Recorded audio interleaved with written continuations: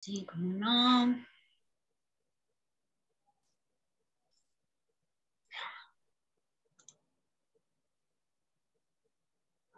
No veo si ahí estamos grabando. Supongo que sí.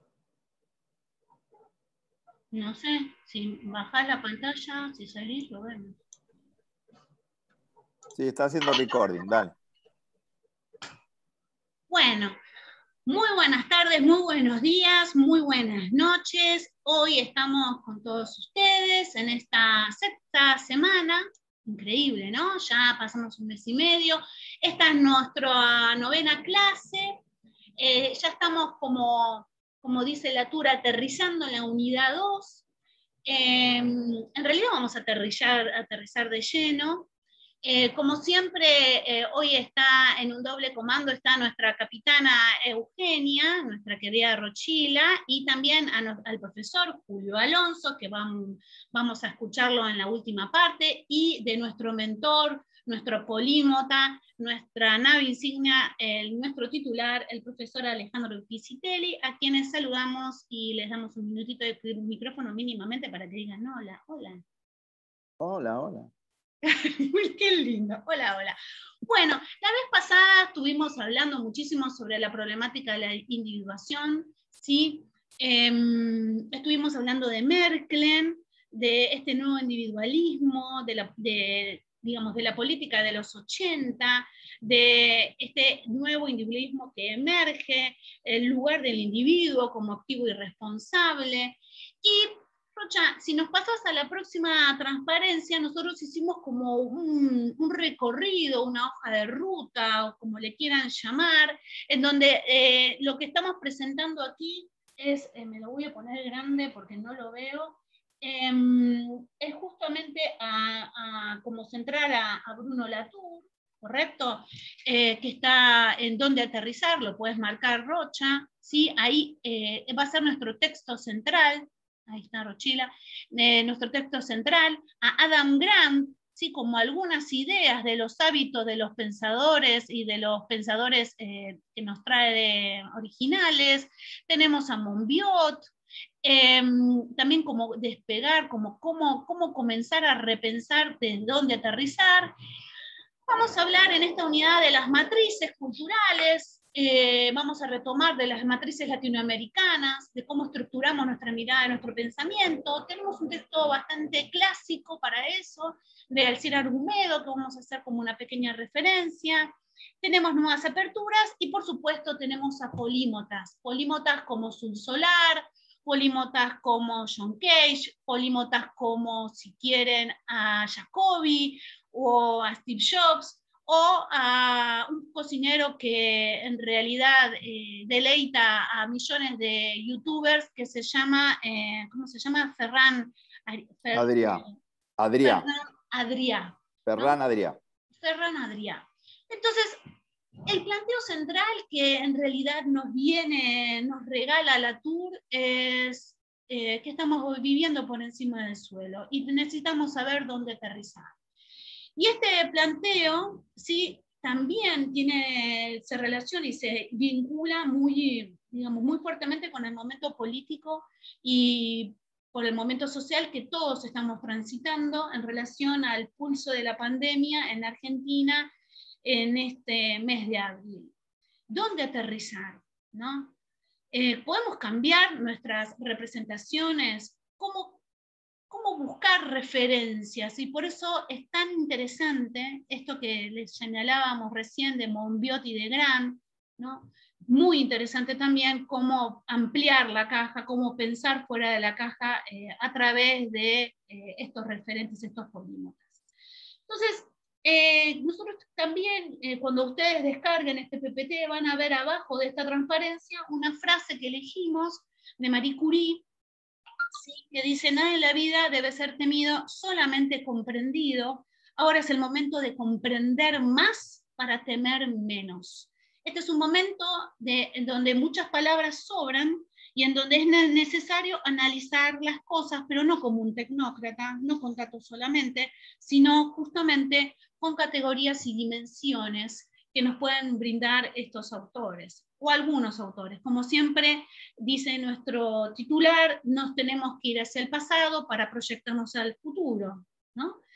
Por eso, la próxima transparencia pusimos una imagen, ¿sí? que yo no sé si ustedes vieron esta película, una película que marcó eh, un hito, eh, en realidad un hito que nosotros, muchos de nosotros lo vimos por televisión, que fue la caída del muro. Y es la imagen de Lenin, que se lo llevan, y es Goodbye Lenin, es una película del año 2003, en donde relatan justamente, esto es un fotomontaje, lógicamente, eh, que lo que retrata es justamente eh, la salida en esa Alemania partida, eh, de buscar sus propios nuevos sistemas de representación y justamente como decía y se le señalábamos a través de Merkel, a partir de los 80 eh, y en este caso en el año 89 empezaron a aparecer nuevas emergentes y en estos nuevos emergentes eh, el reencantamiento de lo político y el, el reencantamiento del valor del Estado. En función de lo que dice también en este trágico asombro, lo que dice la Tura, referende, referéndum, es bueno, perfecto, los 90 lo que nos está marcando es una dinámica de desregulación, recuerden a Merkel, please, una dinámica de la desregulación y una fuerte, eh, sí, y una fuerte observación de las desigualdades sociales, una, una, fuerte, sí, una marcada presencia de las desigualdades sociales, enmascarada por una narrativa y una retórica de la individuación. Entonces, em, bueno, eh, en la tour de hoy, en la tour, eh, ¿cómo era que se llamaba el nuevo libro, Ale? Em, ¿Quiénes somos? No. el que me mandaste en francés. ¿Dónde, ¿dónde estoy? ¿Dónde estoy? ¿Dónde estoy? ¿Dónde estoy? Acuérdense, este es el nuevo libro de que la tour está alargando en estos momentos y ahí eh, el que estamos haciendo referencia es dónde aterrizar. Pero en este dónde estoy, ¿no? Este dónde estoy eh, tiene que ver con eh, la mirada sobre lo planetario.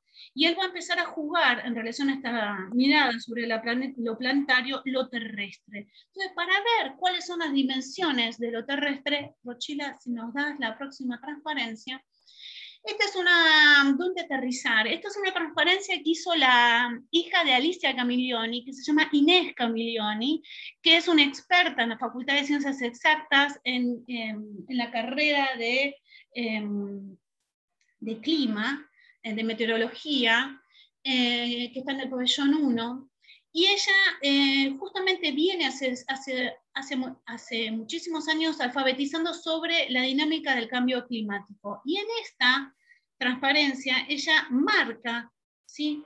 cuáles son las temáticas vinculadas al cambio temático al cambio climático. Ciencia, negociación, desarrollo sostenible, economía, política, comunicación, energía y legislación. Estas patas que está marcando son patas que también ustedes la van a ver y las pueden observar perfectamente con eh, Inerarity, básicamente, y también con Maldonado. Sobre todo en Inerarity, recuerdo, Julio, tu comisión trabajó específicamente uno de los capítulos de Inerarity, creo que el capítulo 7, si no me equivoco, ¿no? Eh, Bajamos varios. ¿Cuál, ¿Cuál, te interesa? El de justicia. El de justicia climática sí es el 7. Bueno, justamente el de justicia climática hace, hace referencia a estos puntos. ¿sí? Entonces, eh, es para nosotros que en un nuevo régimen climático, eh, uno entienda que en un nuevo régimen climático, dice Latour, eh, es un nuevo régimen político. Y la inserción de lo planetario rompe las categorías todo el tiempo del mundo que conocemos. Entonces, el mundo que conocemos es este, por eso, ¿dónde estamos? ¿no? ¿Y dónde aterrizamos? ¿Y dónde estamos ahora? Y cuando uno hace referencia, y sobre todo en los primeros capítulos del libro que ustedes tienen que leer entero, porque nosotros estamos trabajando unidades conceptuales, estamos trabajando pensamientos, estamos trabajando en realidad una argumentación. El libro de Latour es una argumentación y el nuevo libro de Latour también. Este nuevo libro de Latour estuve leyendo bastante desde que Alejandro me lo mencionó. Se lo dedicó a su nieto, y entonces la tour todo el tiempo está haciendo ejemplos como si fuera hablándoles a diferentes actores, ¿sí? que vamos a ir haciendo referencia a lo largo de el presente encuentro. Entonces, de vuelta, las nociones de soberanía que señalaba Inerarity, las, relaciones sobre el Estado-Nación, las fronteras, ¿sí? la Tour señala y desnuda la dinámica de Trump, la construcción de muros, eh, hace referencia y se hipervincula perfecto con lo que nosotros estuvimos trabajando sobre Merkel en el pasado, el pasado martes. ¿no? Entonces, eh, al mismo tiempo que estamos en un espacio global. Entonces, con Alejandro el fin de semana debatiendo un poco cómo, cómo, cómo bajar a tierra en este dónde aterrizar de, de, la tour, eh, elegimos armar una narrativa para que vean eh, en primera mano lo que significa dónde aterrizar en otro lugar del mundo. Entonces, lo que les vamos a pedir que con su imaginación se trasladen al Congo, ¿sí? Un país eh, que ha sufrido y sufre eh, desde 1492, eh, en realidad no en 1492, cuando sufre la colonización portuguesa, pero en realidad sufre lo que es la expropiación, la esclavitud y la desigualdad hasta el día de hoy. El Congo fue colonizado en 1492 por, la, por los portugueses, en 1495 fue se, desarrolló un comercio de esclavos y en donde los productos que se, los productos que se extraían era básicamente aceite, marfil, palma y caucho. Caucho sumamente importante, sumamente importante, pero esto fue en 1495, en el siglo XVII, en el siglo XVIII pasa a ser colonia de los belgas. Y los belgas establecen un mercado de esclavos. Entonces, cuando uno mira la historia, yo para no, elegimos Congo por ser lejano y con una problemática muy cercana, ¿no? En el sentido de cuáles eran las matrices culturales, como cuando uno mira la matriz y uno empieza a ver cuáles son los anteojos que se estaban mirando en ese momento, ¿no? Entonces, tenemos factores económicos, factores políticos y factores ideológicos. Entonces, los belgas, cuando empiezan con el príncipe, va, con, con Leopoldo I, que en realidad empieza a hacerlo, este hombre, Leopoldo, lo que empieza es a, em, obviamente, a buscar un territorio para extraer materias primas y energía. Eh, también lo que eh, ideológicamente va, a empezar a bajar es un marco conceptual en donde el hombre blanco europeo debe transmitir su civilización a los demás, ¿no? Em, tenemos también una domesticación, si quieren, o, una colonización en términos religiosos, con tanto doctrinas protestantes como católicas. Tenemos justificaciones del dominio blanco, pero básicamente lo que tienen es en, esta, colonia belga eh, un, mercado de consumo eh, posible y, con el objetivo de traer los excedentes, eh, va, en realidad generar, eh, generar excedentes para, para esta Europa.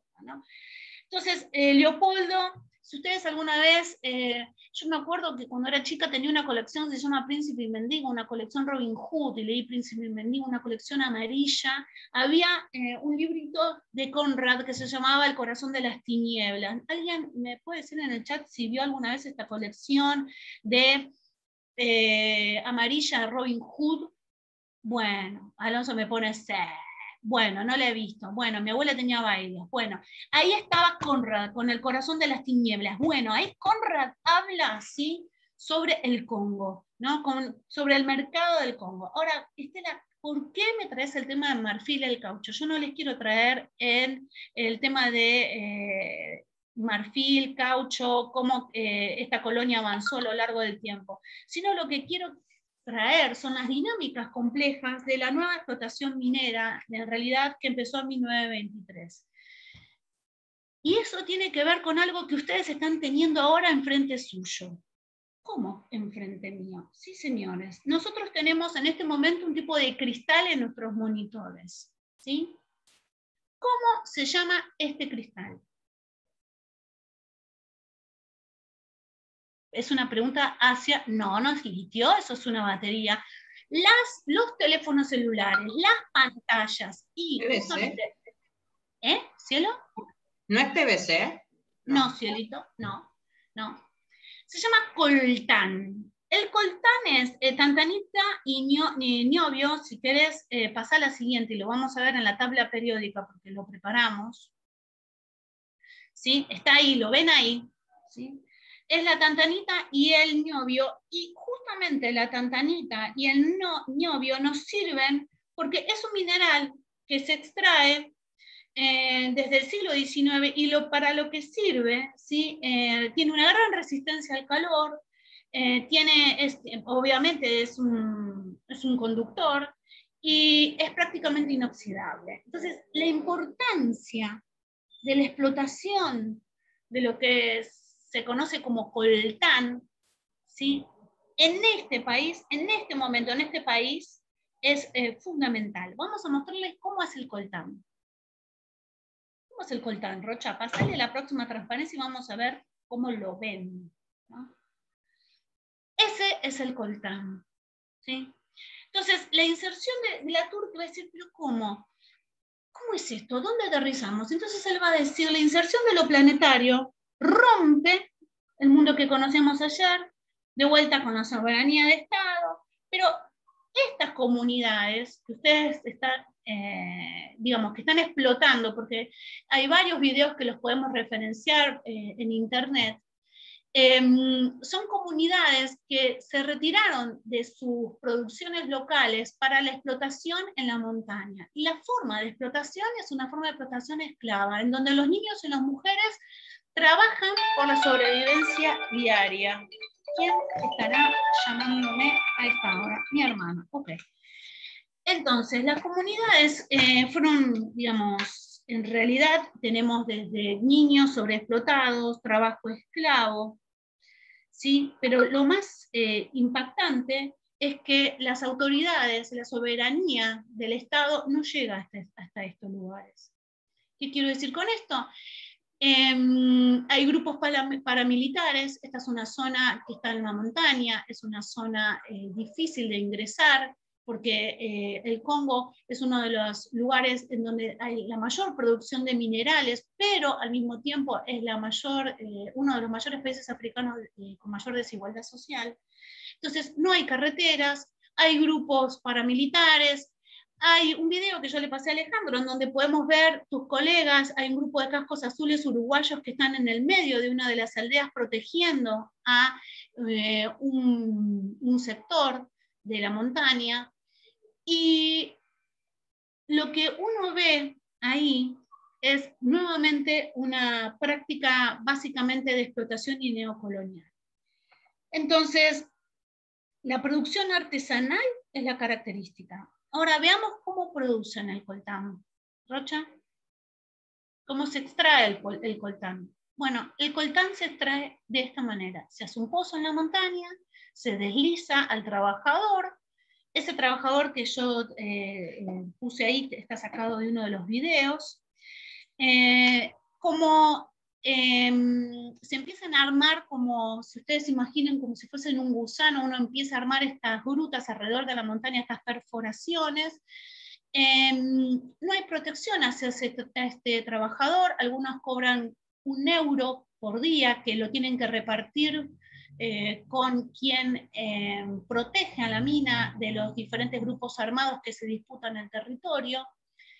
Em, hay también cuestiones sobre tradiciones y sobre culturas. Por ejemplo, eh, leía el fin de semana de que una aldea fue arrasada y las niñas fueron violadas porque muchos de los trabajadores tenían SIDA, entonces consideraban que una de las maneras de eh, no tener SIDA era tener relaciones sexuales con niñas vírgenes, entonces de esta manera eh, dejaban de tener la enfermedad. Entonces, las condiciones de, ya no son de pauperización, las condiciones de esclavitud por la cual eh, vive esta comunidad estas comunidades nos hablan de estas dinámicas de exclusión que está señalando no solamente los autores, sino las dinámicas de exclusión que empiezan a, construirse y se hacen, eh, digamos, se hacen cada vez más fuertes en diferentes lugares del planeta, que como nosotros no las conocemos, pareciera que están invisibles. Entonces, cuando la TUR empieza a señalar, ok, ¿dónde aterrizamos? cuál es el mundo, cómo regresamos ¿sí? Eh, a, a nuestros antiguos valores, ¿sí? cuáles son nuestros valores, cuáles son nuestras comunidades, cuál es, qué es lo importante. Bueno, él también se está refiriendo a estas dinámicas. Eh, pasa eh, a la siguiente, Rocha. Bueno, esta es la forma que el coltán va a ir adquiriendo en el desarrollo de, los procesos productivos. Lo que yo le contaba a Alejandro es que el mercado que más compra el coltán, no lo voy a decir, me gustaría saber qué país es el que está más interesado en obtener el material eh, de mm, estas minas. Nos gustaría conocerlo. Si ustedes imaginan qué país eh, tiene una presencia en cada una de estas aldeas. Muy bien, Agustina Galvez, China. Justamente casi toda la producción, yo estuve mirando el número de exportaciones eh, a este país, el desarrollo, insisto, el desarrollo de nuestra tecnología, vuelvo a insistir, el desarrollo de lo que estamos usando en estos momentos se basa en estas dinámicas de explotación. Nosotros estamos hablando de esto. Nosotros estamos hablando ¿sí? de este mundo, en donde la cuestión climática ¿sí? es importante, pero en donde la tecnología, ¿sí? la desigualdad, está presente en cada objeto que nosotros tenemos al alcance de nuestra mano. ¿sí? Entonces, eh, bueno, el... pasar a la siguiente, Eugenia. Así ven lo que es este país. En este país, ahí ven las zonas en donde eh, se está extrayendo el, el, coltán, el oro, la tinita, y la reserva que representa a nivel mundial es el 80%. El 80% de la producción sale de este país y sale de esa zona. Entonces, nosotros en este momento nos estamos comunicando y por eso estamos trayendo a la tour. Nosotros en este momento nos estamos viendo gracias al desarrollo de esta tecnología y gracias a que un niño bajó ¿sí? a esta mina. Entonces, de vuelta, la cuestión climática, la cuestión global, la cuestión planetaria empieza a ser no solamente una cuestión social, sino también una cuestión política. Y por eso estamos trabajando la tour. ¿Sí? Seguí a la siguiente, Eugenia. Sí, el litio, el litio se extrae de Bolivia, eh, Paulina, y también el litio se extrae de nuestro norte, ¿sí? Pero las condiciones de esclavitud que se ven en el Congo en términos de eh, exclusión no son las mismas. Siempre está mal pero no son las mismas. Em, lo que estoy tratando de que entiendan es la ubicuidad del problema. Nosotros vemos, interactuamos y somos a través de nuestros objetos. Hablamos también de nuestras miserias a través de los objetos. Bueno, estos objetos narran historias. Estos objetos tienen determinada matriz. Estos objetos tienen su intensidad. Estos objetos tienen su violencia y una complejidad. Y de esto está hablando la tour. ¿sí? Porque una de las cuestiones que nos permite traer la tour es el lugar de los actantes, ¿sí? del, del lugar del actor y la red, de comprender la vinculación entre los objetos. Y nosotros somos en este sentido, en este momento somos un objeto. ¿sí? Entonces, eh, y este objeto nos hace perder también nuestra en términos de Tarkle, si quieren, nuestra empatía, nuestro lugar de humano, de nuestro lugar de cuál es nuestra humanidad. ¿sí? Y por eso eh, traemos este relato de Congo. La transparencia siguiente tiene que ver con lo que nosotros vinimos diciendo desde eh, el inicio de la cursada, que es nosotros estamos ante una ignorancia sistémica. Eh, atribuimos a la pandemia, a un determinado virus, pero nosotros también somos ese virus y entonces esta ignorancia sistémica eh, nos hace quedar, nos hace, o nos hace poner en un espacio como muy tranquilo eh, y muy a la espera, ¿sí? Eh, que, bueno, en lugar de, estos teóricos, el lugar de estos textos, el lugar de datos UBA es empezar a, desarmar estas narrativas y empezar a analizar. La turba seguir, si quieres mostrar la próxima Rochila, creo que lo dije muy, Alejandro me dijo, intenté terminar y media, intenté, Ale, no sé si lo logré. Em, él va a hablar de, dinámicas eh, de las migraciones, ¿no? Em, y cuando uno mira la dinámica de, las migraciones a, nivel mundial actualmente, eh, lo que nos habla también es, en esta ignorancia sistémica, es eh, de nuestro propio fracaso, del fracaso del desarrollo, del fracaso económico. Y, insisto también del fracaso de, ser de ser humano, de nuestra propia humanidad. Entonces, em, la Tour va a decir en este texto, sobre todo en los primeros capítulos, va a decir el suelo está cambiando de naturaleza. ¿sí? Y sí, el suelo está cambiando de naturaleza. Nosotros en esta crisis migratoria ah, no la vemos, pero en Europa se ve patente. Nosotros esta crisis migratoria no la vemos eh, ni la vivenciamos, pero lo que sí estamos vivenciando es eh, las dinámicas y las nuevas narrativas, narrativas de exclusión, lo vivimos durante todo el fin de semana, en donde eh, empieza a construirse un lugar de nosotros y ellos. Y nuestro lugar es no caer en la trampa. ¿no? Latour dice, estamos ante un reto geopolítico y el problema es la injusticia y la desigualdad. Entonces no nos olvidemos de esto. ¿Ale? Mm, somos sí, perfecto. No, no, no, estabas, estabas re bien en tiempo. Perfecto. Eh, yo ahí, puse en el chat una de, tus eh, notas de orador que tiene que ver con esta cuestión de, de la forma de explotación, el impacto ambiental, etcétera. Eh, lo que queríamos em, contarles hoy, mostrarles, más que contarles, mostrarles hoy, es eh, que cuando uno hace un análisis como el que acaba de hacer Estela, eh, intervienen, ella usó la palabra actantes, ¿no? es una palabra que le gusta mucho a, a Latour, porque para Latour los actores no necesariamente son humanos, el caso del coltán es un actor clave, el caso de la demanda de este mineral por parte de los teléfonos es otro actor clave, somos nosotros, los consumidores occidentales, está todo conectado. Y Latour es un, compañero de viaje nuestro de hace muchos años. Yo les diría de casi el doble de la edad que tienen ustedes. Nosotros empezamos a conversar con Latour a fines de los años 70. Esos son más de 40 años.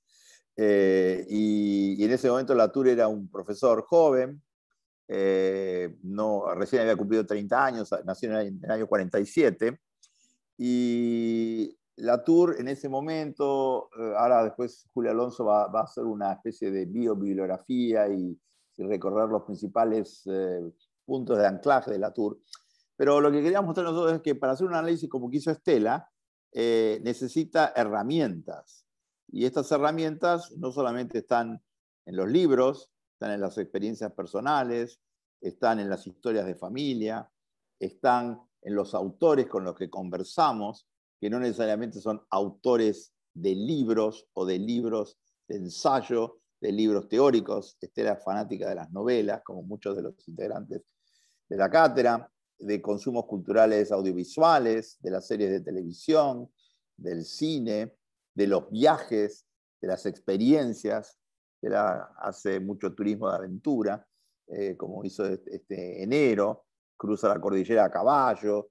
Eh, y, pero ¿cómo? ¿Qué tiene que ver cruzar la cordillera a caballo con hacer una relectura laturiana del mineral coltán?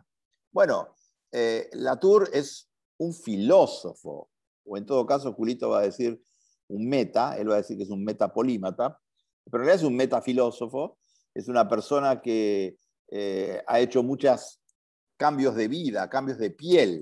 Cuando uno cambia de profesión, cambia de piel, ¿no? Nosotros hemos tenido en la cátedra eh, una contadora pública, me acuerdo en el ciclo básico, que odiaba ser contadora pública.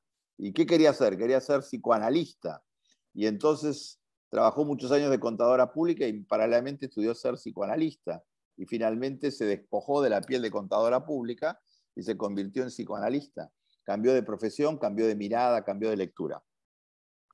Cuando Latour escribe este libro, este libro de Latour lo escribe en 2017, este Cómo aterrizar, ¿no? Y, y no es solamente cómo aterrizar, sino que tiene un subtítulo que es Cómo orientarse en la política. No es solamente un libro ecológico, es un libro tremendamente político.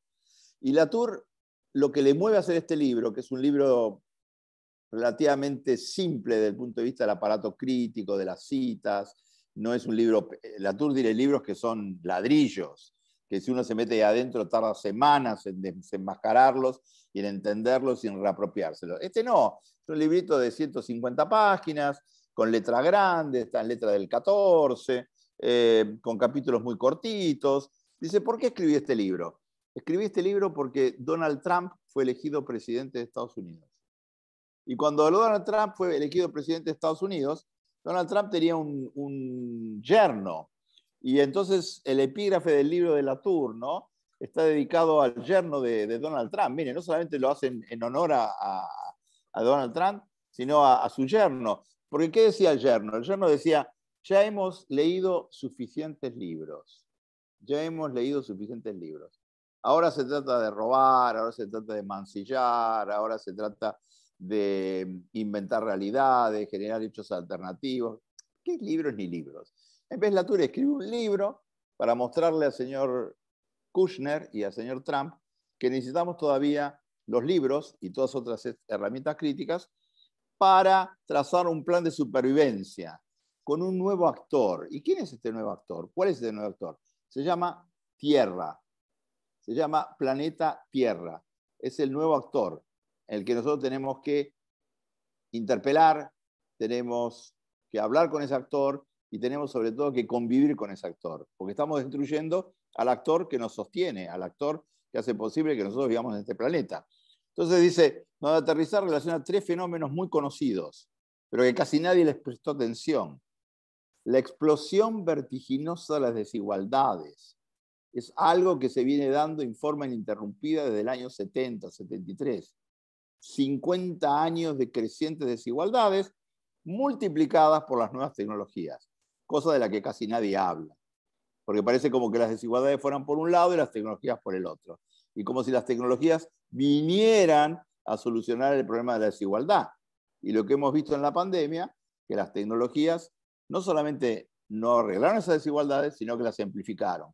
En algún momento salió una noticia en los diarios que nadie lo podía creer, que Zoom, esta herramienta que estamos usando nosotros, que antes de la pandemia, que tenía 10 millones de usuarios, al final de en el medio de la pandemia del 2020 tenía 300 millones de usuarios y llegó a tener un valor de mercado de 50 mil millones de dólares, más que todas las aerolíneas norteamericanas que en ese momento tenían todos los aviones parados. Entonces, dice Latour, ¿cómo combinamos? ¿Cómo ponemos en común? ¿No? este fenómeno de la explosión vertiginosa de desigualdades, el tema de la desregulación, que no es solamente una desregulación económica, es una desregulación en múltiples sentidos, y insiste, y la sistemática maniobra de negación del cambio climático. Sistemática maniobra de negación del cambio climático. Y esto lo dice Latour cuando ya tiene 70 años, cuando tiene muchas carreras por detrás, cuando el tipo había escrito libros increíbles, de eso va a hablar Julito ahora, eh, sobre la construcción de los hechos científicos, sobre el rol de los científicos en la sociedad, donde se había peleado con medio, medio, medio París. Yo lo fui a entrevistar a él a fines de los años 90 y en vez de encontrarme con una persona que era un canchero que venía de vuelta, que le decía científico, ustedes no entienden nada, dice, nadie me da bola en Francia, me dicen que soy un traidor, me dicen que cómo le pude hacer eso a Descartes, cómo, cómo pude poner en cuestión el racionalismo cartesiano, dicen, me, acusan de relativista, me acusan de tipo que está diciendo todo vale, se cree que soy Feyerabend, ¿qué les pasa? y nadie me quiere publicar mis libros. Digo, ¿cómo? ¿Por qué no publicás en una editorial de primera? Flaco le digo, ¿por qué no publicás en las importantes, en Galimar, en Minuit? Dice, nadie me da bola, tengo que publicar en la de Cubert.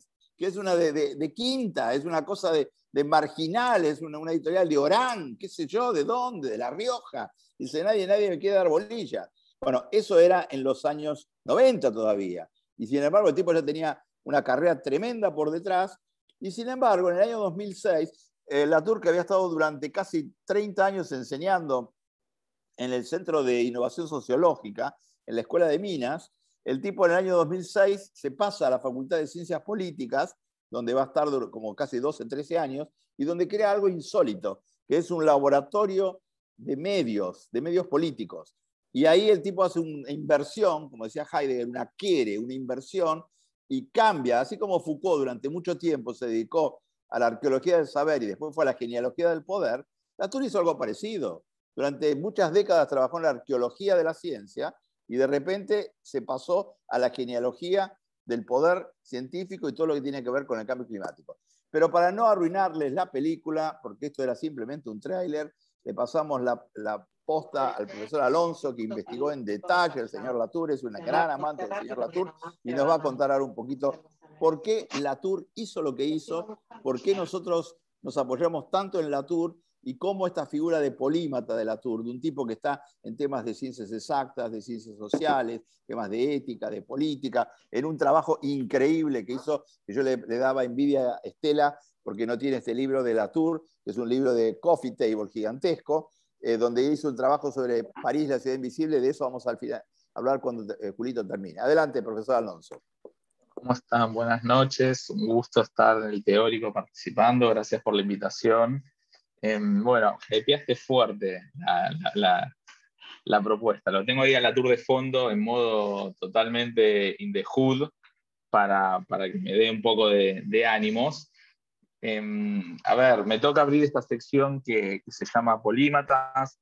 La idea de Polímatas, si bien la vienen trabajando Estela y Alejandro ya hace unos encuentros, está bueno, digamos, recuperarla. La idea del polímata es pensar en estas personas excepcionales no, en términos solo de, gran recorrido, de gran trayectoria, sino que han sido excepcionales en el hecho de haberse podido correr de su campo y siquiera en términos de lo que podría ser algo como interdisciplinario, sino como dice Alejandro y Estela, antidisciplinario. Correrse justamente de su propio campo de estudio, poder abrirlo y, esto que viene trabajando Alejandro el año pasado, me, propuso, me dijo, bueno, elegite vos uno, tratá de, presentarlo, y ante tamaño desafío, a, mí me surgió la, propuesta de hablar de la, de, la, tour, pero desde otro lugar, ¿no?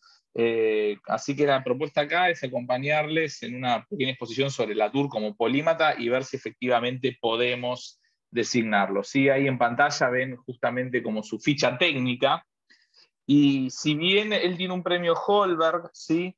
que premia, digamos, a, las personas que se han desempeñado con éxito dentro del campo de las artes, las humanidades, las ciencias sociales, la legislación o la teología, creo, digamos, que esto ya lo habilita en algún punto a alguien que está dentro de lo interdisciplinario, si uno quiere, pero creo que la idea de, su objeto de investigación, que lo, lo planteaba Alejandro recién en esa anécdota, para lo que es las ramas de la ciencia, mi, mi, mi, teoría, mi tesis, digamos, o mi hipótesis es que Latour es un metapolímata, es una persona que nos va a enseñar a pensar al resto de los polímatas que van a ir viendo y que hizo un muy buen listado Estela hace un ratito. Me están sacando una foto en este momento adelante. Vieron que esto es así, ¿no? Uno está en la casa, por más que uno se ponga fondos virtuales, pasan las personas, me sacan fotos, me deben estar filmando. Después lo voy a subir a Twitter, seguramente esto, arroba datosuba. Síganos, denle like y follow. Ahora bien, este es el primer concepto, ¿no? Si bien tenemos un, registro interesante de los libros, lo hizo recién Alejandro, no tiene sentido que yo lo comente.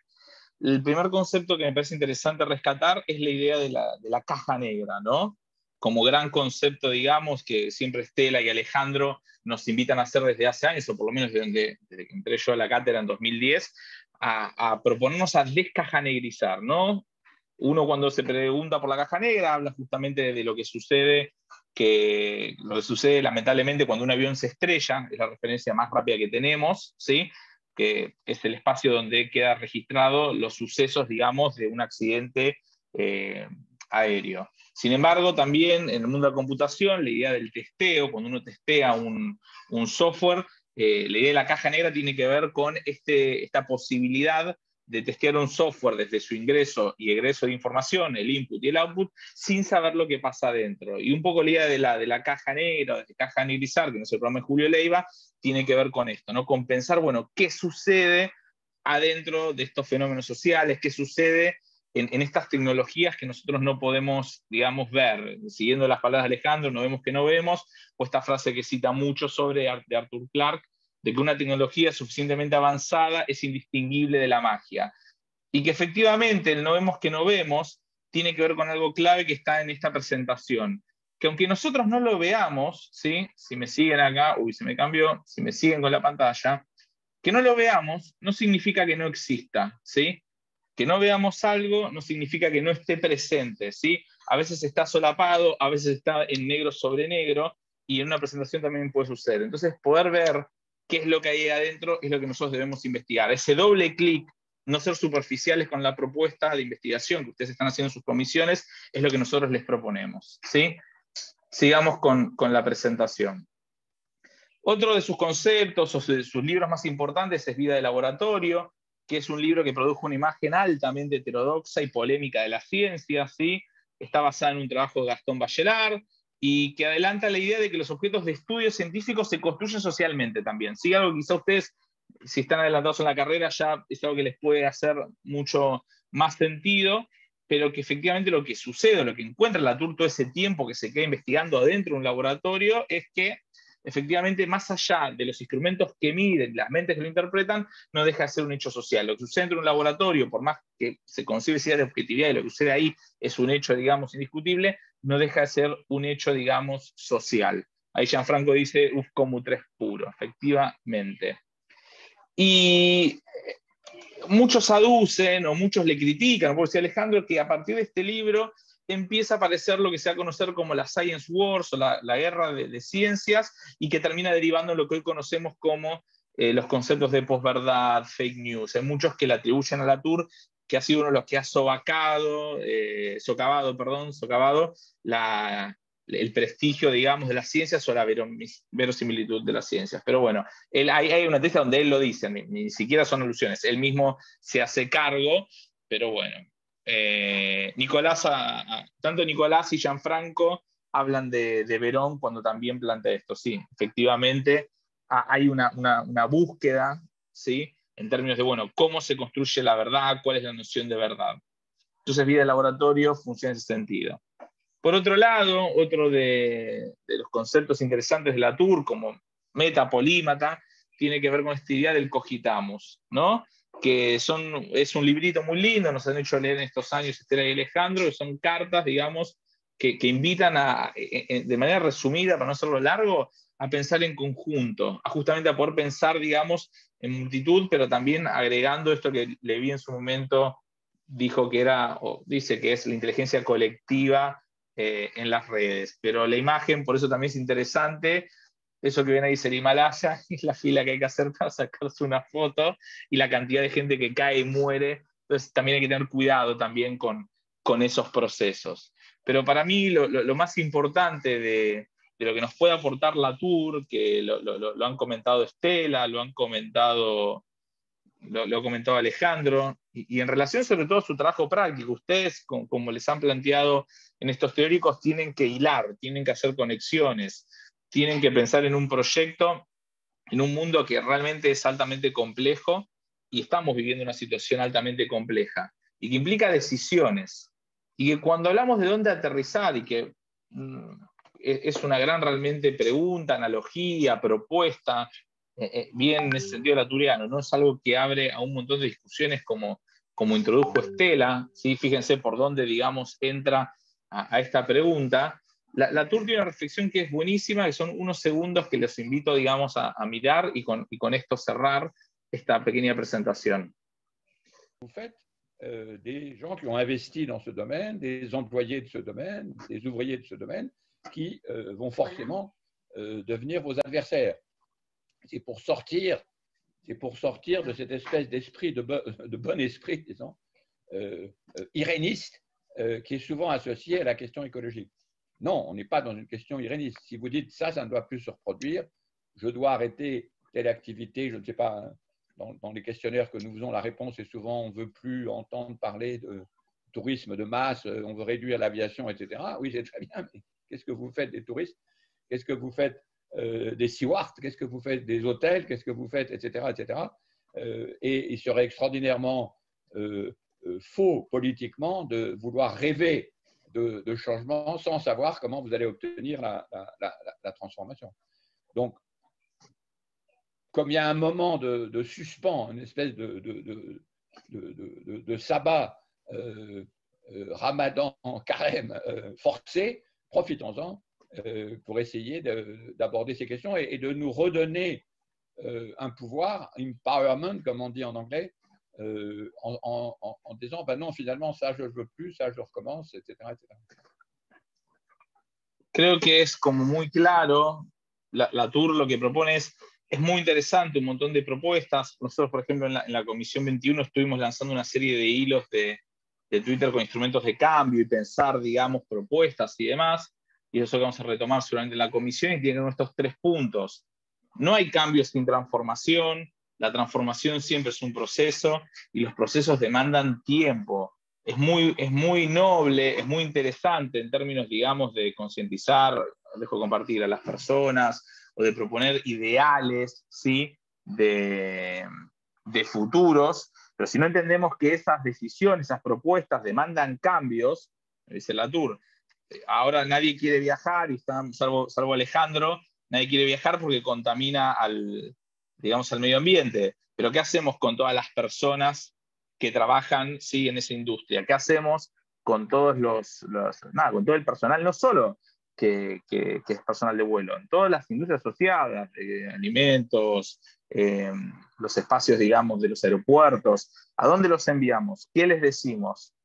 Entonces, antes de ser arbitrarios, está bueno poder como pensar, decidir y poder proyectar, ¿no? En este de escenarios, qué es lo que queremos hacer. Está muy bueno, hay que aprovechar el momento, pero sobre todo tener en claro eso, que las decisiones que nosotros tomamos tienen consecuencias, que las transformaciones llevan tiempo efectivamente y que los procesos son complejos y que implican muchas miradas, que es un poco lo que nosotros tratamos de invitarlos, invitarlas, invitarles a hacer aquí. Con eso termino mi presentación del polímata de la fecha. Bien, Julito, gracias. Eh, bueno, acá hay dos, dos elementos, eh, menciono rápido y después le paso la palabra a Estela nuevamente. Primero, la idea esta de polímata. Esta idea de polímata es una idea que, que como bien dijo Julito, venimos trabajando formalmente, digamos, en, términos de convertirlo en una presentación, eh, de convertirlo en un proyecto, desde hace un año, básicamente en la Universidad de San Andrés, en UDESA, donde tenemos una materia de escenarios del futuro, pero obviamente polímatas siempre nos interesaron desde que estamos estudiando y desde que saltamos de, la filosofía, la filosofía de la ciencia. Eh, yo estudié, así como Estela estudió química, ¿estudiaste? No, yo estudié sociología y ciencia de la educación. Eh, Nada más, no estudiaste química. No, bueno, nací en una escuela técnica, entonces eh, de formación sé soldar, sé hacer columna de destilación y por eso te puedo mirar un mineral de lejos y decir de dónde está la tabla periódica, porque de eso a eso me hacían cuando era chiquita. Descubra el mineral, dígame su lugar en la tabla periódica. Me decía, oro, tinita, y no, mal, ¡pa! Y, y así crecí. Así creció. Por eso tiene una, una, cicatriz en la cara, porque seguro se equivocó de mineral en el lugar de la, en la, tabla periódica. Este, pero, eh, digamos, o sea, este, esta, esta, esta, mm, capacidad, por un lado, de asociar eh, prácticas, miradas, lecturas, eh, corporalidades que tienen que ver con profesiones muy diferentes, ¿no? de repente un ingeniero que le encanta el arte, o de repente un químico eh, que liga lo que está haciendo con la danza, o estas ecologías materiales ¿no? que se están trabajando ahora en el Media Lab del MIT alrededor de Neri Oxman, muestran que las lecturas de los fenómenos hipercomplejos y de todos estos hiperobjetos, etcétera, necesitan evidentemente de eh, conceptos que no son los disciplinarios. Pueden ser inter, unos dicen interdisciplinarios, otros dicen transdisciplinarios, a mí me gusta decir más antidisciplinarios. Ahora, eh, Latour lo que tiene de, muy rico en este pasaje a la política, ¿no? en, este, esta eh, conexión, porque él dice, no, la ecología sí, dicen, bueno, eh, hay que consumir menos, la huella de carbono, pero a él le parece que todas esas cosas son muy light, eh, no van a revertir la situación en la que estamos metidos ahora, que un país como Estados Unidos, que tiene el 4% de la población mundial, consuma el 16% de la energía. Y lo que a él le preocupa mucho más, y por eso la política laturiana ahora es tan fascinante, dice que los poderosos eh, saben que la amenaza ecológica es real. Entonces, y esto lo va a desarrollar Estela seguramente en el próximo teórico, dicen, la única forma de sobrevivir es abandonar la idea de un futuro común. Porque una tierra no alcanza para todos, no es suficiente. Si todos queremos consumir como Estados Unidos, necesitamos dos, tres, cuatro tierras. Entonces, dice Paulina, están caceroleando. Ahora vamos a ver por qué están caceroleando. Entonces. Eh, acaban, de, dictar la no presencialidad otra vez. Exactamente. Invadiendo. Un, tribunal federal, o sea, un tribunal de la justicia federal, que no es de la justicia de la capital, sino que de la justicia nacional, acaba de revertir la medida cautular de la justicia contencioso administrativa de la capital federal. Y esto va directamente a un conflicto de poderes tremendo y obliga a la Corte Suprema a decidir si la capital tiene autonomía o no. Pero mientras tanto, en el medio están dando vueltas millones de chicos, millones de padres, y Estela se agarra la cabeza porque estuvo estos dos días o tres sufriendo como loca con la administración de los chicos en su casa, las burbujas explotadas, los padres que pedían medidas cautelares, etcétera, etcétera. Y esto es muy a propósito, y con esto vamos a, cerrar lo que yo digo y se le paso la palabra a Estela, ¿no? Eh, porque lo que está diciendo las clases dirigentes, y las clases dirigentes, ¿saben quiénes son las clases dirigentes, entre otros? La casta política, independientemente de la línea ideológica que tengan. La casta política, las clases dirigentes, han llegado a la conclusión de que no queda espacio en la tierra para ellas y para el resto de la gente. Entonces, la Tour insiste muchísimo en que tenemos que dejar de pensar en los dualismos tradicionales. Los dualismos tradicionales son la naturaleza versus la cultura, la izquierda versus la derecha, lo global versus lo local. Y básicamente el poder del pensamiento de la Tour, polímata o metapolímata, es ir más allá de los dualismos, ir más allá de esto que hoy se ha convertido en un lenguaje de uso común, que es la grieta, que es la oposición mortal, que es toda esta cuestión eh, de la política agonal, de destrucción del adversario, etcétera, etcétera. Y él lo que está diciendo es, lo que está en juego acá es la tierra, lo que está en juego acá es el colectivo, lo que está en juego acá es la totalidad, lo que está en juego acá son nuevas ideas de qué es lo global, porque él habla de un global más, un global menos, de un local más, de un local menos, y habla, él no está diciendo globalización maldita y localismo benefactor. Está diciendo globalización como la tenemos es un desastre, pero localismos como los que estamos llegando ahora con los nacionalismos, con los cierres de fronteras, con los nuevos conflictos locales. La semana pasada hablábamos de un TikTok que mostraba cómo los tanques rusos habían apostado en la frontera de Ucrania. Estamos viendo maniobras en el mar de China, Nunca como hoy se estuvo hablando de una hipotética invasión de Taiwán por parte de China. O sea, estamos viendo cosas tremendamente fuertes y poderosas y lo que no tenemos son herramientas y decimos, estos son los buenos, estos son los malos. No hay ni buenos ni malos. Entonces, si no hay ni buenos ni malos, ¿cómo entendemos lo que está pasando? Y la elección de la Tour, la elección del Coltán, la elección de esta biografía de este, de este hombre, ¿no? Que pasó de entrar en los conceptos, en las ideas, etcétera, a aterrizar. Fíjense que el tipo escribe ¿Dónde aterrizar? Y el último libro de él, que salió hace un mes, es ¿Dónde estoy? Dice él. Dice, ¿dónde estoy en el confinamiento? ¿Dónde estoy en el confinamiento? Y lo que se está discutiendo en la Argentina en este momento de vuelta es confinamiento, reconfinamiento, desconfinamiento. Eh, es todo una amalgama de cuestiones que no se pueden tocar en términos dualistas. Si rescatamos muchas cosas de la Tour, la que me parece más rica a mí es esta idea del no dualismo. Estela. Sí, te escuchaba y, él te diría que los fariseos declaran nuevas cosas, nuevas dinámicas de sustentabilidad en, el confort de su casa y señalan, ¿no? Eh, desde el confort de la casa te dicen, bueno, no aviones, no esto. Y cuando yo repasaba la tour, eh, me acordé de la historia, uno siempre intenta acordarse de la historia de, de, sus ancestros. Y me voy a permitir acá una digresión que está hiperconectada con lo que dijiste. Mi, mi, abuelo Manuel a los ocho años se fue de su casa y vivió en la calle durante casi un año y fue recogido por un luterano. Eh, lo recogió en la boca y le dio casa, comida y lo alfabetizó.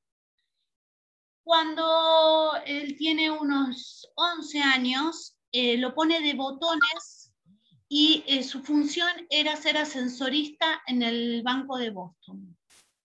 Y él me contó con sumo orgullo eh, la función que él cumplía como ascensorista. ¿no? Y el el tipo de reconversión que él tuvo que hacer cuando dejaron, o sea, cuando la gente dejó de decirles a, una persona, lléveme a tal piso, porque yo viví lo que es, eh, no sé si alguno, vos te acordás, sale cuando uno entraba a un ascensor, eh, me acuerdo que el ascensor de la UTREF acá en el microcentro hasta tiene un lugar para sentarse, recordás que muchos de nosotros le sacamos fotos como el lugar de la espera, mientras me traslado me siento, algo impensable, ¿no? Y los lugares del ascensor como un no lugar, Em, porque te traslada a, otro, a otro espacio. Entonces yo me quedé bastante cuando de vuelta empecé a leer la tour, el lugar de las profesionalidades y al mismo tiempo el lugar de los valores. Él vuelve en este libro y en el que vos estás señalando, porque él dice, en este Ramadán, en este Shabbat, en el video que pasó Julio, y lo hacen varios, Em, me, empecé a preguntarme, bueno, ¿cuáles son las nuevas cualidades? ¿Cuáles son las nuevas capacidades? No puedo desprenderme de ese otro colectivo que tiene una red de socialización, tiene una red de contención y tiene una forma de producir y tiene una forma de vincularse con el otro. Como dice Julio, yo no puedo de la noche a la mañana eliminar una línea aérea porque esta línea aérea aparte está conectando y está conectando un mundo y tiene un sentido tengo que buscar la manera de, eh, que no genere más dióxido de carbono, lógicamente, pero eh, eliminándola es el camino. Entonces, mi abuelo me contaba todos los esfuerzos que él hacía y que gracias a Morris, em, al, ingresar a la, escuela, al, eh, Morris le hablaba en inglés, el esfuerzo que hizo por adquirir ese idioma, con un diccionario empezó a hablar inglés y a hablar en inglés con Morris, con William Morris. Em, también el lugar de la escuela, ¿no? en el sentido del desarrollo de capacidades y habilidades. Y si uno se fija, el rol de, la cualificación, eh, ¿dónde está? Em, entonces, me parece que en, estas, eh, en esta realidad alternativa que uno a veces parece que está sufriendo, en esta desinformación constante, eh, lo que necesitamos también es eh, aprender a ver aquello que no vemos, como ese truco que hizo Julio en la transparencia cuando mostró eh, muy, muy mágicamente eh, la palabra cuando estaba explicando Cajanera, ¿no? Eh, digamos, muy brillante. Pero lo que quiero señalar es, no hay un horizonte compartido, sino hay un proceso también de una cultura compartida y de valores compartidos. Y en este momento también los valores, y por eso yo comencé hablando de Em, cuando él abre el libro, cuando él abre, ustedes, cuando ustedes empiezan a leer el libro, va, va, empieza justamente con la caída del muro y con las desigualdades y las dinámicas de regulación. Em, tu amigo personal, eh, Escolari, eh, habla de la necesidad de, de, las nuevas habilidades cognitivas. Y vos, Alejandro, desde que tengo eh, uso de razón, que te conozco desde muy joven, eh, siempre hablaste que para poder eh, traducir al mundo uno tiene que también estar alfabetizado. En este sentido, alfabetizado en, estas nuevas condiciones. Eh, ¿Qué quiero decir con esto? Bueno, necesitamos también nuevas habilidades cognitivas para poder traducir este mundo. Y estas habilidades se hacen con otros, no se hacen solos. ¿sí? Mi abuelo necesitó un William Morris. Mi abuelo necesitó un traductor del mundo y necesitamos polímotas que nos empiecen y nos guíen en esta nueva traducción del mundo. Bueno, eso me surgió eh, decir cuando eh, recién comentábamos el texto y que mi abuelo Manuel cada vez que leo la tour está siempre presente con su mirada diciendo, bueno, necesitamos nuevas, nuevas cualidades en los sujetos. Cuando yo empecé a leer, él con letra set, y, ahí, y acá voy a los valores, eh, me ponía frases en cada página de eh, mis libros. Y recuerdo una, una de sus frases que estaba reiterativa, que decía que lo que más vale en este mundo, en su mundo, es ser bueno. Entonces los valores morales eh, son súper importantes y las grietas eh, y el pensamiento de nosotros y ellos en este momento no nos sirve sino recordar quiénes somos y como insistí varias veces, recordar nuestra humanidad. ¿no? Siempre hay un otro que, que requiere de, de, nuestra mano y de nuestra mirada. Si no sabemos mirar, no lo vamos a poder ver nunca, como el truco que hizo Julio. ¿Vale? Sí, aparte el hecho de que fíjense, tenemos el chat. A mí una de las cosas que más me gustan de, para no decir que es la única que me gusta, de, este modo virtual de las clases, eh, es el chat. Porque el chat eh, genera una conversación paralela, como un back channel, ¿no? Donde por parte nuestra podemos eh, incluir bibliografía, videos, ejemplos, etcétera, y por parte de ustedes van haciendo comentarios. Y entonces a, las 7.55 Paulina dice, están caceroleando. Y a las 7.55 Franco Ojeda contesta, por fallo judicial federal. Gianfranco a las 7.55 dice, acá en 11 están calmados. Paulina a las 7.55 dice, no entiendo nada. Abraham, seguimos a las 7.55. Acá hay un súper cacerolazo, tuve que ir a cerrar la ventana. Taís, que viva, a las 7.56 dice, hermoso no vivir en capital en estas ocasiones. Y Cande, a las 7.57 dice, en la República Peronista de la Paternal no pasa nunca aburrido. Mientras que un minuto después, Nicolás Barbeito le contesta, yo vivo en la República Macrista de Palermo, Ahí vive también Julito en la República Macrista de Belgrano. Y dice que más o menos, bueno, habrá distintos Belgranos. Las cacerolas Essen no paran de sonar. Eh, entonces, esta, esta cuestión, obviamente no es la primera vez que hay cacerolazos, ni pero no se escuchaban dentro de la facultad fácilmente. Y aparte de la facultad, prácticamente alrededor de la facultad no hubo muchos cacerolazos. Eh, el hecho de que estemos hablando sobre la tour el hecho de que estaba hablando de los polímatas, de las categorías, de los elementos para entender la complejidad. Complejidad que viene junto con contradicción. Viene junto con contradicción viene junto con grieta, viene junto con polarización, viene junto con, con ideologías muy encontradas. Eh, salta inmediatamente. Es decir, estamos hablando de esta cosa. Obviamente podría haber saltado en la facultad también si estuviéramos presencialmente. Han saltado temas dentro de la facultad, pero saltaron acá adentro. Estaba, Julita había citado el Cogitamos de, la Tour, seis cartas sobre las humanidades digitales. Inmediatamente después de eso están caceroleando. Pero ¿cómo? A ver, estamos con las Cogitamos, con las humanidades digitales, con las cacerolas. ¿Cómo se conectan todos estos puntos? ¿no? Hay un señor que escribió hace poco tiempo una biografía sobre la Tour y una biografía fascinante.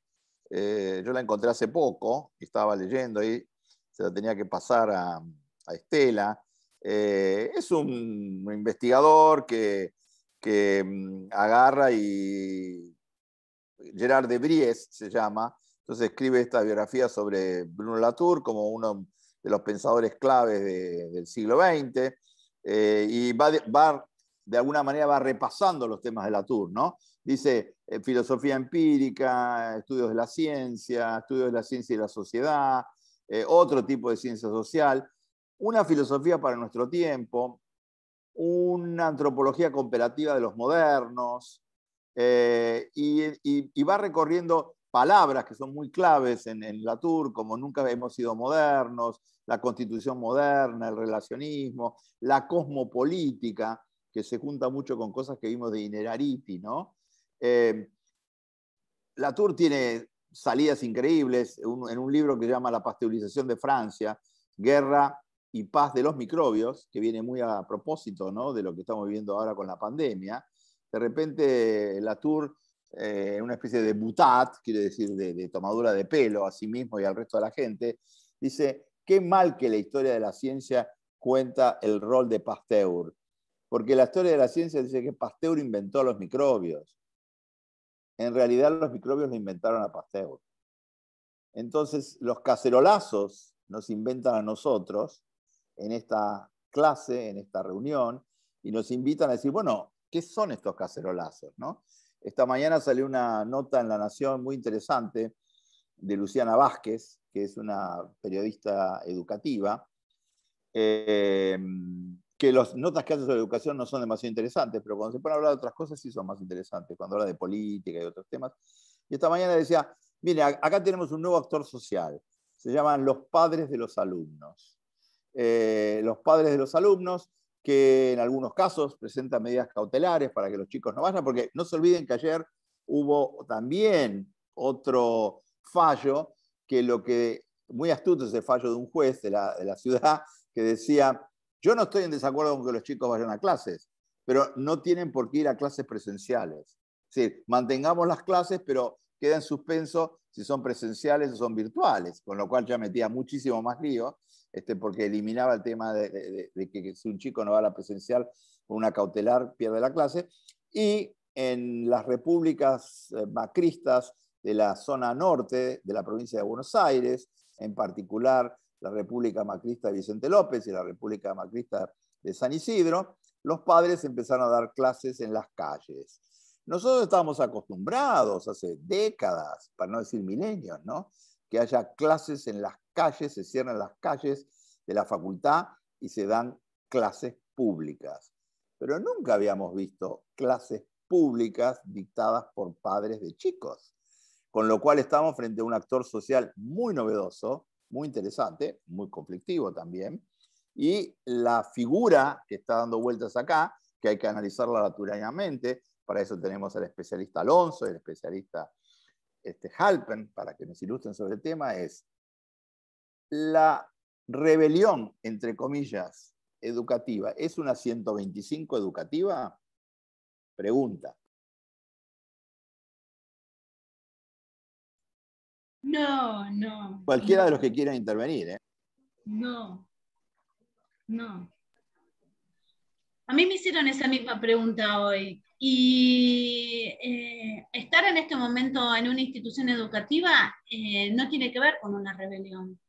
Eh, yo tengo muchos estudiantes que cuando se fueron el viernes se fueron acongojados porque ya habían vivido lo que fue la pandemia, habían estado en, en tercero y en cuarto año y habían perdido el contacto con, con su propia identidad de ser técnico. ¿no? Ser técnico es más allá de una materia, tiene que ver con desplegar un proyecto, tiene que, tiene que ver con, con encontrarse uno en el mismo, con, con, sus compañeros, tiene que ver con compartir, tiene que ver con, con aprender de, del otro, con la respuesta del otro.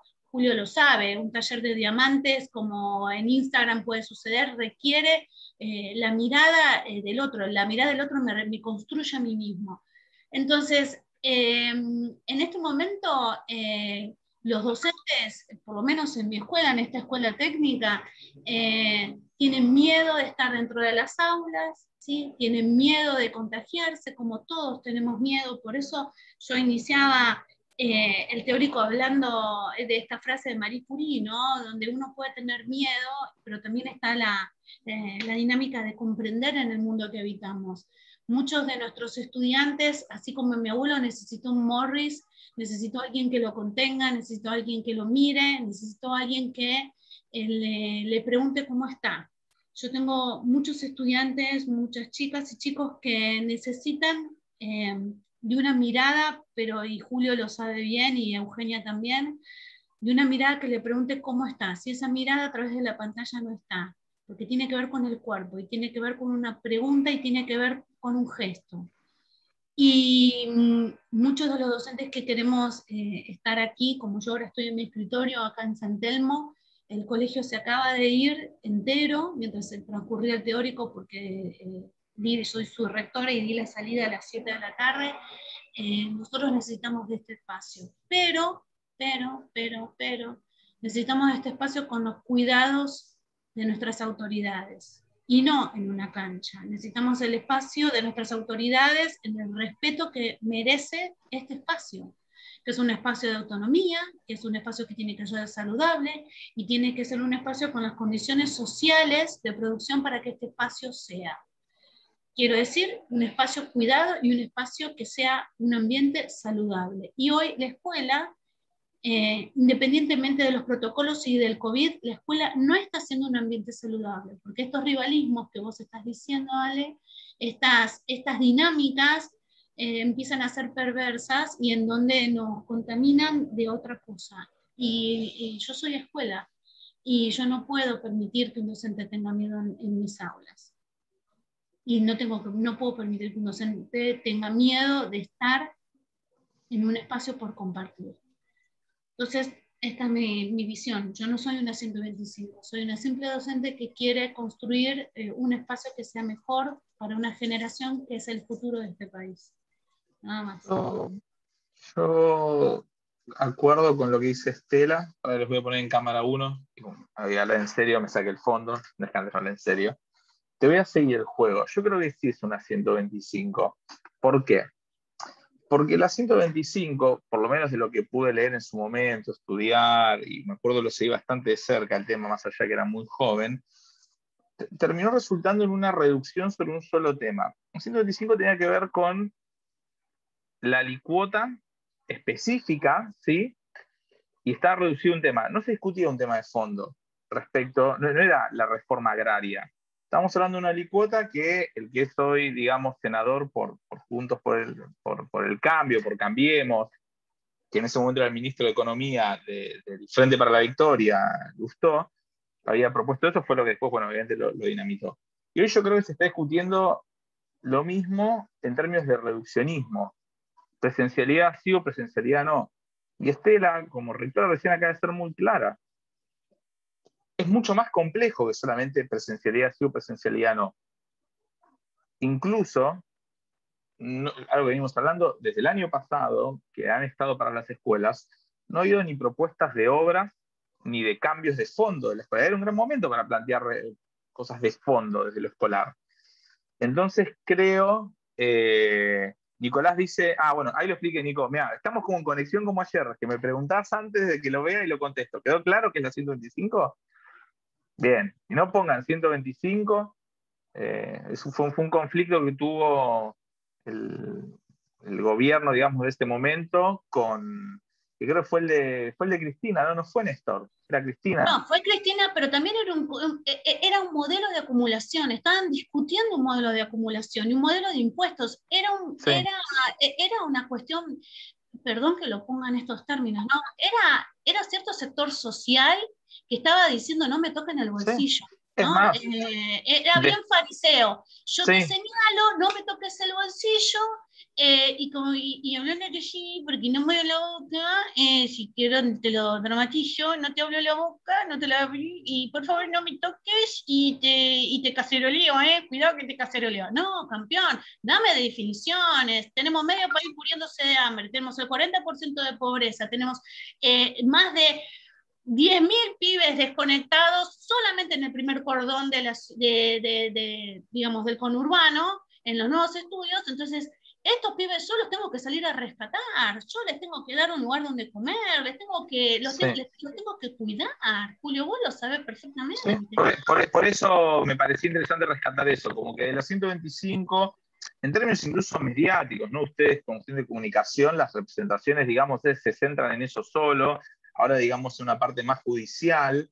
En ese momento lo mismo, se resolvió en el Senado, como ahí lo dijeron, empate, empate de, senadores resuelve el vicepresidente que era radical, pero está en coalición con el, gobierno de, ese momento Cristina Fernández de Kirchner, dijo mi voto es no positivo y, se resolvió, digamos, a, favor de, las pretensiones de un sector del campo, porque después no, Nobleza obliga, cuando van las elecciones, Cristina gana como por afano, y me acuerdo que el federal, una publicación dedicada al campo, hace todo un, trabajo del gran porcentaje de personas de, base en el campo que había votado, digamos, el gobierno que le había tirado a la 125. Entonces, como, como siempre dice Estela Alejandro, las cosas son más complejas de lo que parecen, y, yo creo que voy a insistir con eso. Creo que es un gran momento para poder pensar discusiones de fondo que se está reduciendo, digamos, en esto que siempre plantean Alejandro y Estela, ¿no? No, no, no, no, no quiero dejar de mencionarlo.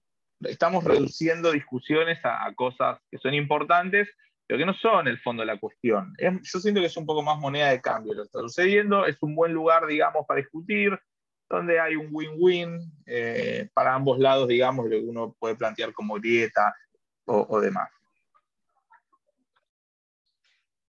Bueno, estamos eh, llegando, ya estamos, unos minutos, pero bueno, no, me parece muy importante, Estela, lo que comentabas vos, este, y también en la acotación de Julito, estamos eh, eh, de vuelta en esta tensión, ¿no? Por un lado diciendo necesitamos lecturas muy complejas, multideterminadas, multicausales, de circularidad mutua, etcétera, y lo que estamos viendo de repente es un reduccionismo brutal de vuelta entre buenos y malos, entre derechas e izquierdas, entre eh, los que tienen razón, los que no tienen razón. Eh, la discusión si la grieta empezó en 1810 o si empezó en 1492 o si empezó, viste, eh, con los diaguitas y los come chingones, no lo sé, este, pero efectivamente hoy estamos, y no acá, no es un tema argentino, piensen lo que pasó en Estados Unidos, donde el, golpe que intentó hacer Trump, el asalto al Capitolio, o sea, estamos viendo una cosa muy, muy, muy transversal, planetaria.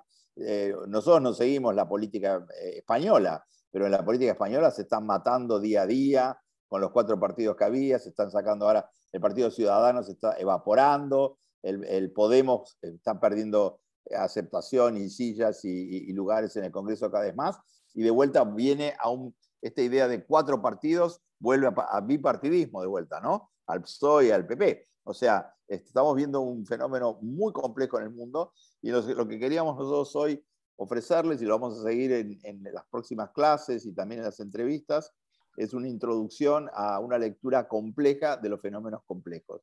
Porque uno puede hacer una lectura reduccionista, simplista de los fenómenos complejos, o puede hacer una lectura compleja de los fenómenos simples.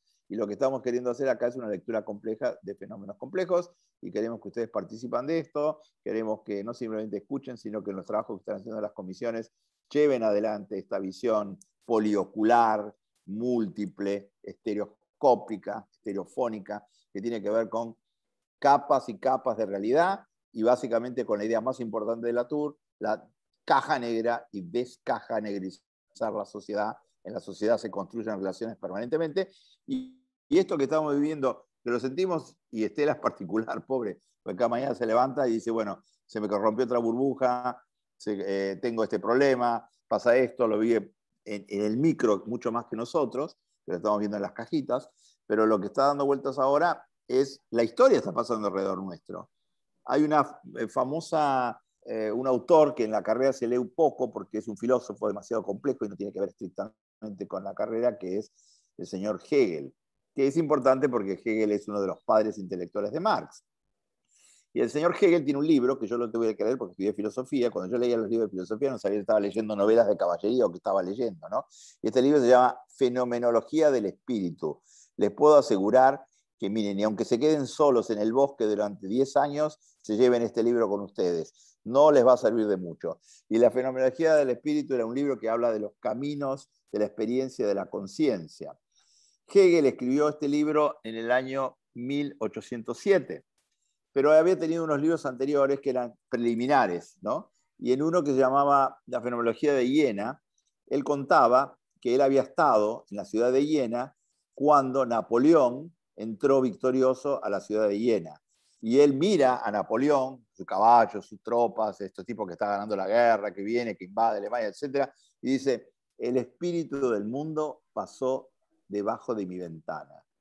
El espíritu del mundo pasó debajo de mi ventana. Diciendo algo así como, están pasando cosas muy importantes y yo fui testigo. Nosotros en Argentina estamos viendo cosas que son muy importantes y somos testigos. y somos coprotagonistas. Es un momento fascinante, vivir en un momento en donde están pasando cosas y nosotros somos testigos. Estela. Bueno, eh, con mucha esperanza los queremos encontrar mañana, con mucha salud, mañana todos ustedes, mañana vamos a, presentarles a, una artista argentina, una artista visual, Rosana Simonazzi, nos interesa mucho que la conozcan porque ustedes pueden, todo lo que leyeron en Comu3, de la reproductividad técnica, de, de cuál es el enmarque, cuál es el objeto, cómo se produce eh, una narrativa. Ella trabaja, eh, trabajó, trabaja en fotografía, trabajó en videos. Vamos a ir hablando con ella de su, producción en la invitación que le hicimos hoy, que la tienen en el SU, tienen su página